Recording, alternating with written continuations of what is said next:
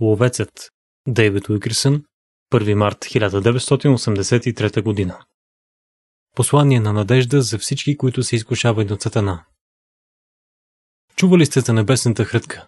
Това е Божия дух, който надушва човека и никога не го изпуска. Той никога не се отказва, докато не го намери.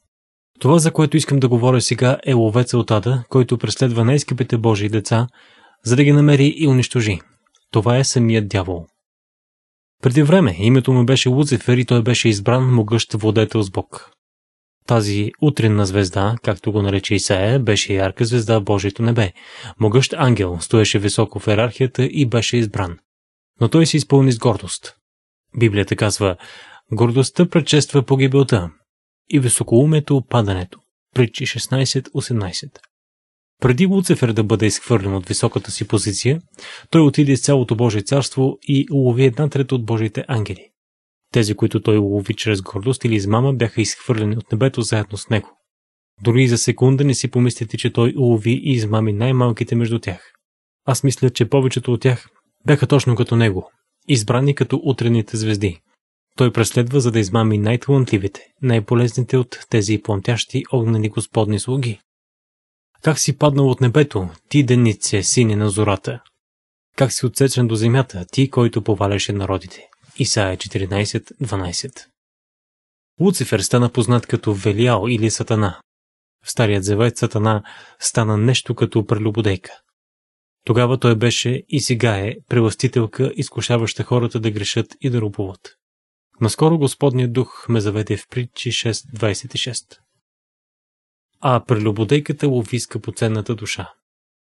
Прелюбодейката Сатана ще търси скъпоценния живот. С други думи, той преследва онези, които са най-обичани, най-ценни за Бог. Той ловавя добрите деца, невинните, най-важните за Божието царство. Точно за това сексуално извратените, които са се предали на греховете си, преследват невидните деца. Сатана работи в тях да уловят и унищожат скъпоценен живот. Защо толкова много невинни християнски момичета са изкушавани от най-злите долни гангстери? Това е защото самият дявол преследва скъпоценните. Сатана води армия от демонични ловци, които ходят насам натам, търсещи най-скъпоценните животи, за да ги изкушат, уловят и боробят. Думата скъпоценен означава скъп, възлюбен, високо ценен. Най-скъпото на сърцето. Онези най-високо оценените, поради духовно или морално качество. Сатана идва като ревящ лъв, търсещ кого да погълне. И най-вече търси да погълне скъпоценните. Седях в стая в испанският Харлем и почех, докато гледах как пет тинейджърки, глухонеми, вкараха мръсни игли в вените си. Те бяха венозни наркомани. Изчаквах за шанс да им свидетелствам и те забравиха, че съм в стаята. Докато ги гледах си мислех, те нямат ли достатъчно проблеми, не чуват, не могат да говорят.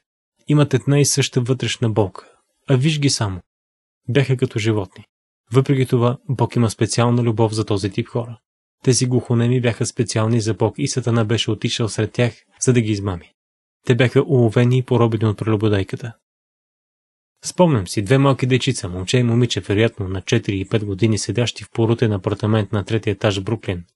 Бях отишъл там да взема един наркоман, който беше спасен и да го заведа в програмата. Майката беше проститутка и излязла да търси клиенти на улицата. Бащата беше наркоман в затвора. Хосе и аз тък му си тръгвахме, когато се обърнах и видях тези две изплашени деца, седящи сами на дивана. Казах, Хосе, майка ти е на улицата, баща ти е в затвора. Ако се тръгнем, кой ще гледа брат и сестра ти? Той кивна към котия с мляко и няколко бисквити Орео на масата и каза, а, има ядене. Те могат и сами да се гледат. Не можех да си тръгна. Точно тогава се върна майката. Тя не ни позволи да вземем децата, защото имаше нужда от тях, за да получава чековете за социална помощ, така че да има за наркотици. Докато си тръгвахме, аз погледнах отново тези две скъпоценни живота и си мислих. О Боже, това са скъпоценните, които преследва Сатана. Не мога да ви опиша колко много се натъжи сърцето ми. Служител от Божията асамблея в Бруклин доведе двете си момчета тинейджери в офиса ми на 15 и 16 години. Те седнаха на бюрото срещу мен. Служителят сложи глава на бюрото и заплака. Брат Дейв, каза той. Четох книгата ти кръстът и героите на ноша. Проповядвах от нея. Ходил съм в затвора да се застъпвам за децата на родители от моята църква. И ако ме беше казал, че ще открия това, което намерих вчера, никога нямаше да повярвам. Полицаят ме извика в районното. Беше задържал синовете ми. Нави ми ръкавите и ми показа ръцете им. Не знаете ли, че синовете ви са на венозен наркотик? Попита ме той. Бяхме забелязали, че успех им се понижава, че погледът им често е безжизнен, но никога не съм си представил, че е заради дрога. Не можех да повярвам, че можеше да се случи в собственият ми дом. Гледах как този баща коленичи и сложи ръце върху синовете си. Момчета, умоляваше той. Ако все още изпитвате някаква любов към мен или майка ви, моля ви, нека брат Дейв ви подслони. Моля ви, елате в Тин Колинч и променете живота си. Моля ви. Не мога да издържам повече. Те го погледнаха безчувствено, безмилостно. Бащата се просна на пода споходен от огрезенията си. Видях как синовете му станаха, прескочиха баща си и смяха му се и излязоха. Не успях да утеша този пастор. Той стана, разтърси глава и излезе през вратата. През всичките тези години аз си мислих за онези двама скъпоценни синове на пастора, как Сатана ги беше преследвал. Два скъпоценни живота, които прелюбодейката беше дошла да улови. Какво беше видял Сатана в тези две деца, че беше толкова плашен, принуждавайки се да хвърли всичката сила на ада срещу тях? Един репортер ми попита веднъж, господин Уилкерсън, кое е най-лошото нещо, което някога ви се е случвало? Най-лошото преживяване, което някога сте имал? Винаги си мисля за следната среща. Току-що бях разпуснал събранието в голям физкултурен салон и слизах от сцената, когато една тинейджерка дойде напред, водеща млад мъж, който беше очевидно сляп. Беше висок около 190 см, кожа и кости. Косата му падаше, очите и бузите му бяха хвътнали. Помислих си, че е болен от рак. Приличаше на някой на химиотерапия. Те се изправиха пред мен, хванати за ръце и тя каза, това е приятелят ми Джими, на 17 години. След което тя ми разказа тъжна история, как той е бил здрав, як футболист в американски футбол, в гимназията. Не е бил хулиган, бил едно от добрите момчета в училище и в църквата. Просто отишъл на партии, където повечето хора взимали LCD и амфитамини и си подмятали трева. Накарали го да пробва и от любопитство и под натиск той взел хапче LCD. Някой бил добавил стриханин. Той изпаднал в ужасно състояние и трябвало да бъде откаран до болницата. Младата дама ми каза, че всъщност той е бил изписан от там преди два дни. Умът ми все още беше разрушен, а зрението му се беше отишло. Тя каза, той прочете книгата ви «Кръстът и героите на ножа» в час по-английски преди няколко месеца. Доведох го при вас, защото все още го обичам. Искам си го обратно. Погледнах това бомбардирано съзнание и се ядосах на дявола. Отидох за завесата и поплаках. След това се върнах и се молих за момчето. О, Господи, освободи го. Молих се сериозно, но когато отворих очи, разбрах, че той не беше чул и дума от казаното. Беше си отишъл. Абсолютно отишъл. Не знам какво се е случило с този младеж, но цялото си сърце вярвам в изсирителната сила на Бог. Най-доброто, което можах да направя, беше да го запозная с мой приятел пастор и на група млади хора, които го подслониха. Знаех, че щеше да бъде окъпан в молитви. Имам чувството, че някой ден ще го срещна и той ще бъде в пълно съзнание. Никога няма да забравя Джими, този добър, избран млад мъж, когато Сатана преследва, за да измами и унищожи. Истина е. Прелюбодейката лови скъпоценен живот. Множество невинни, чисти млади хора се хващат от сатанинските сили, изкушаване с наркотици и алкохол, с една единствена цел – да бъдат закарани в срам и разрушение, най-възлюбените скъпоценни Божии деца. Напоследък Святия Дух ме води в изцелителна истина. Той ме води в служение на помирение и възстановяване, показвайки на хората, че не трябва да се страхуват от Бог, като от някакъв безмилостен съдия. Напротив, той купне за любовта и приятелството на всичките си отклонили се от пътя деца.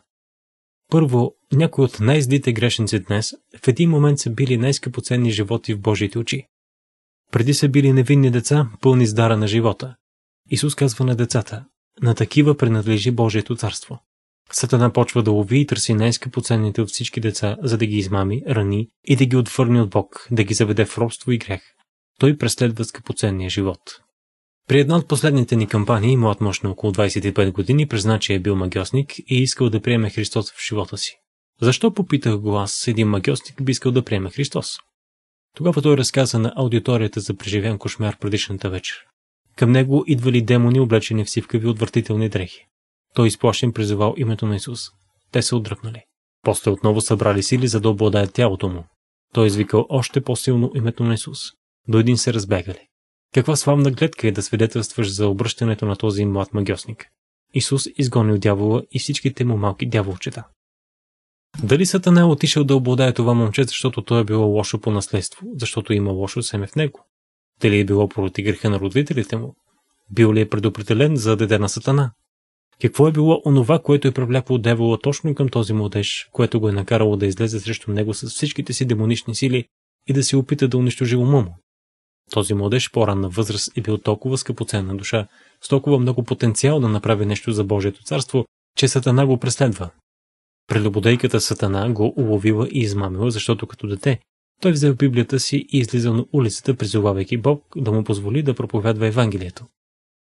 Ники Круц, бив шеф на бандата Мал Мал, е роден в дом на магиосници. Майка му се занимаваше с окултизъм. Ники беше едно от 17-те деца в семейството и когато бил още дете, той чувал майка си многократно да казва, че бил нежелано дете. Ники върхлетя улиците на Нью Йорк изпълнен с омраза и измамен от сатана. Веднъж вестниците описаха Ники като загубено дете с сърце на убиец. Вече беше намъшкал няколко души преди да го срещна. Нека ви задам един въпрос. Защото Ники беше лошо семе, затова ли вдигна на крак улиците с сърцето си на убиец? Когато за пръв път го срещнах, той плю в лицето ми и каза «Отивай в ада». Беше толкова огорчен, пълен с омраза и яд. Помислих си, че той беше последният човек в Нью Йорк, който би се спасил. Какво имаше Ники, че дявола го преследваше? Трябва да е имало нещо в ранна възраст. Дали е било защото след като Ники чул майка си, че е бил нежелан, изтича в стаята си и извика към Бог. И той чул вика му. Бог видял потенциала на горящи евангелизатори, който може да разтърси царството на дявола. Дявола също го видял. Така че започнал да преследва този скъпоценен живот. Майки и бащи с непокорни или безбожни деца, живеещи в грях. През какви ужасни травми иска да ви прекара сатана само. Опитват се да ви кажат, че някъде в родословното ви дърво има ли лоша семка, която най-накрая излязва в едно или две от децата ви. Питали ли сте се някога, защо това трябваше да бъде с моите деца? Една двойка дойде в офиса ми. Плачеха толкова много, че дори не можеха да говорят. Когато се успокоиха ми разказаха сърцераздирателни истории. Две седмици по-рано открили, че сина им, който уча за гимназиален учител, е хомосексуалист. В отчаянието и съкрушението си решили да споделят проблема с дъщеря си. След като ги изслушала, тя отговорила, е, след като той ви е казал истината, значи и аз мога. Аз съм лесбийка. Те седнаха пред мен, разбити и плачещи. Затова изпитвам толкова голяма любов към хомосексуалистите и лесбийките и всички, които са вързани от сатана. Защото някъде зад всичко това има плачещи майки и бащи, уведняващи себе си, питащи, къде сгрешихме. Искам да споделя какво ми каза Святия Дух в отговор на тази дилема. Вина на родителите ли е? Имало ли е зло семе в инкубационен период, което изведнъж излязло от тях? Не винаги.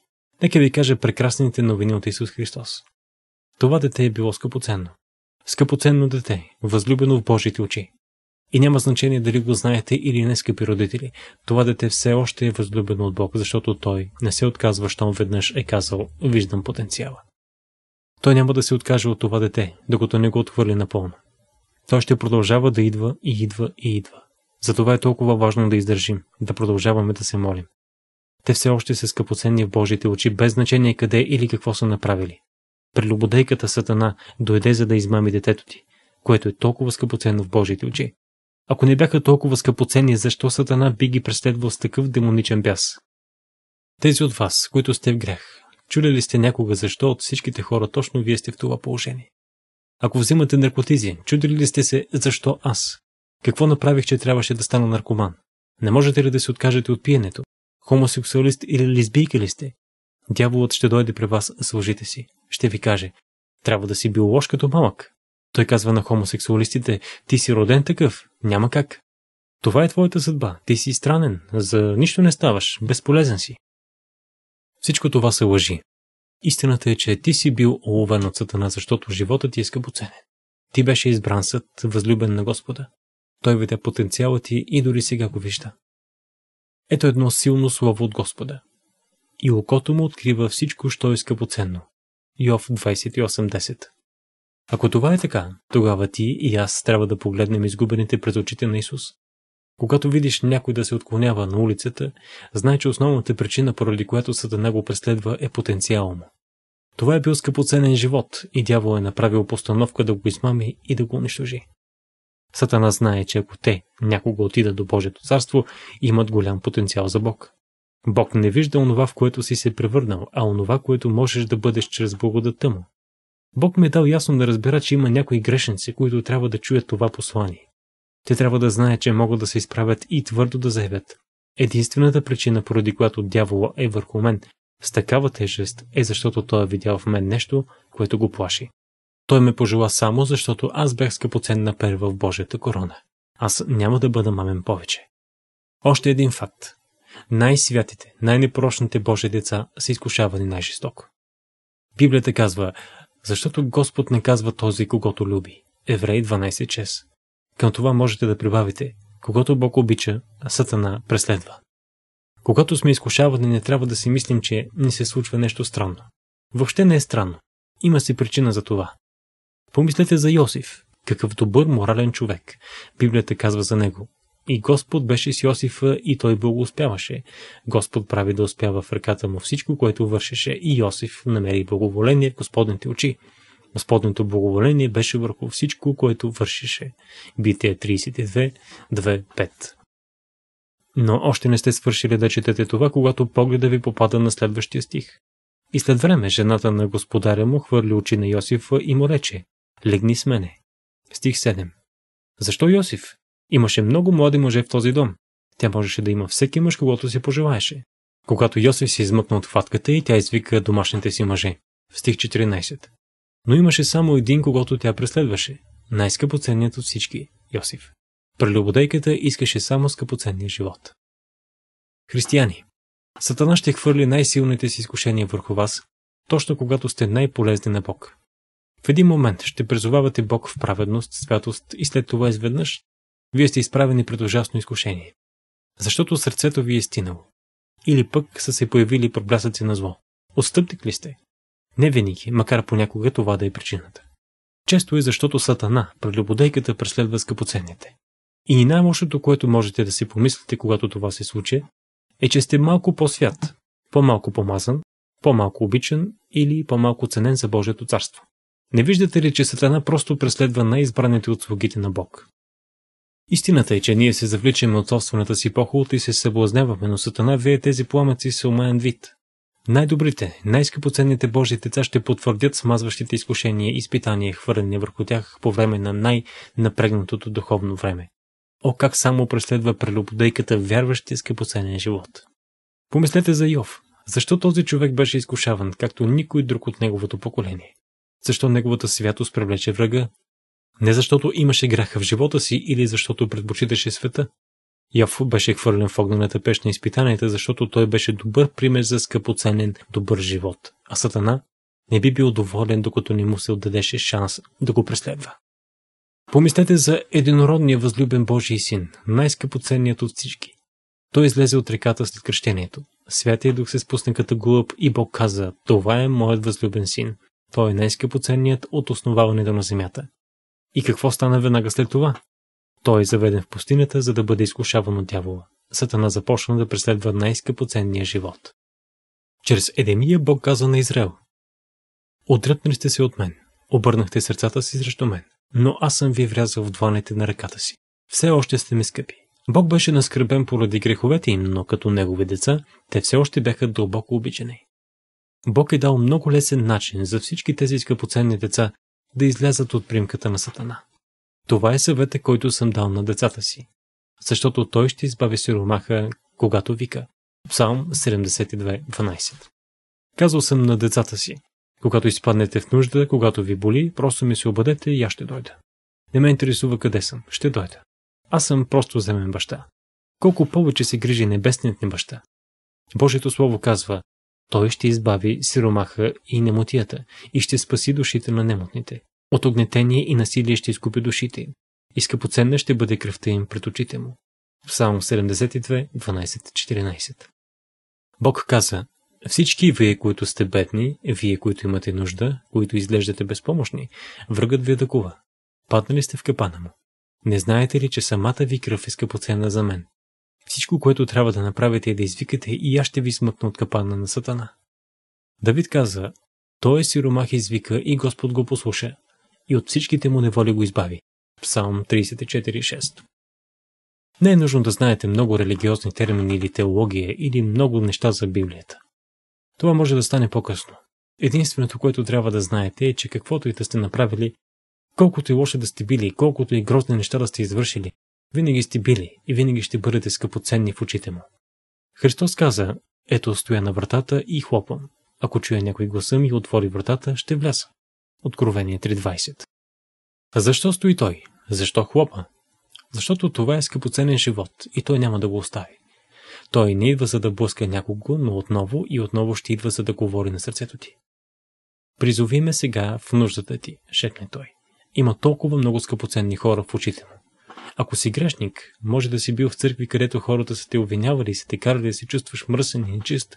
Но всичко, което те са направили е да те осъдят на базата на външния ти вид. Бог не прави така. Той вижда потенциала ти. Какво би могъл той да направи в живота ти? Какъв благоханен живот би могъл да бъдеш? Той ще ти даде радост и красота вместо кал и мърсотия и пепел. Той ще те освободи. Спомням си Израел, един от героите в книгата ми. Той се върна при бандата си и беше хванат с друг младеж, който простреля едно момче в главата. Дадоха на Израел 8 до 10 години като съучастник в убийство. През всичките години, в които той беше в затвора, аз плаках и се молих за него. И Израел каза, Ники, помня деня, в който коленичех с брат Тейв. Не мога да се отърва от Святия Дух. Бог ме презла тогава и аз знам, че той все още ме обича. В момента Израел проповядва, точно както и Ники. Той беше една скъпоценна душа, измъкната от примката на дявола. Вярвам, че преди Исус да се завърне, тези капани ще се отворят из целия свят. Бог ще покаже на хората, че Той ги обича, че са скъпоценни в очите му. Чето свидетелството на младеж, който е бил тревестит. Той си сменил пола, но се спасил. И като се спасил, той отново станал мъж. Бог му върнал мъжествеността. А ако го бяхте видели само преди няколко години, бихте казали, това е сина на дявола в този живот и във вечността. Но някъде в това сърце Бог е видял нещо. Имало е скъпоценен живот скрит там. Сега този мъж проповядва Евангелието. Има толкова много скъпоценни души, които Бог иска да спаси. Всичко, което се изисква е да си признаеш. Станал съм зъл човек. Бях измамен от дявола. И все пак, дълбоко в сърцето си знам, че това, което казваш, е истина. Аз не съм мръсен, грозен, омразен. Това не съм истинският аз, защото понякога знам, че мога да бъда нов човек. Това е Господ, който се опита да ти покаже колко си скъп в очите му. Ти се покаяваш в момента, в който помолиш Бог да те накара да мразиш греховете си. Той ще ти отговори в момента, в който предприемеш стъпка на вяра. Самият Божий дух ще дойде върху теб, освобождавайки волята ти от силата на злото. Само вярата спасява и държи далеч хората от силата на греха и сатана. Не вярвай на лъжите на дявола, че си стигнал твърде далеч, че си станал твърде грешен, за да бъдеш Божие дете. Точно сега ти трябва да приемеш факта, че Сатана иска да те държи в робство и трудности, защото си голяма риба. С други думи, наистина скъпоценен за Бог. Можеш да бъдеш свободен точно в този момент. Извикай към Бог в сърцето си. Вярвай на Божието Слово, когато обещава, че Той ще вложи вяра в сърцето ти, ако го помолиш. И тогава истинският ти, добрият ти, скъпоценният, възроденият ти, ще бъдеш освободен. Ти си скъпоценен за Бог. Не го забравяй.